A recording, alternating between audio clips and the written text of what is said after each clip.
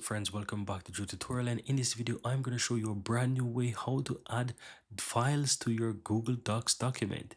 And i'm not talking about uploading document from google drive. I'm going to show you how to do it directly from within your google docs. So let's say i want to go ahead and add a document here at this bottom of this page right? Now all you have to do is just go ahead and click insert from the menu options here.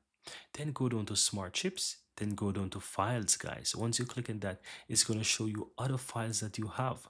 And all you have to do is just go ahead and select that file. Now once you click on that file you will see that the file is added into your document. And if you hover over this you will have more information. You can go ahead and you can open a preview of the document. You can copy the document. You can even see details about the owner and so much more. So let's say i want to quickly view this. I can simply click and open preview and it will open that document directly on the right hand side how cool is that? So guys if you're looking for a way how to add other documents into your google docs document this is the best way and the smart way how to do it.